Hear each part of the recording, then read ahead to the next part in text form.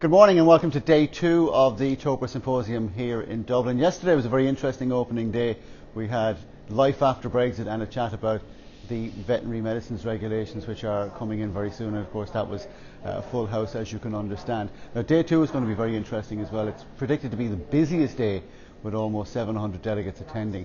We have the annual lecture with Sebastian Payne from Deloitte this morning at about 11 uh, o'clock and then of course the annual review meeting for TOPRA as well and then public hearings at the European Medicines Agency kicks off today. So a busy day for veterinary, for human medicines and for medical devices. We're here at stand 3 between now and Wednesday evening. If you're in the area and you're at the TOPRA Symposium, do drop by.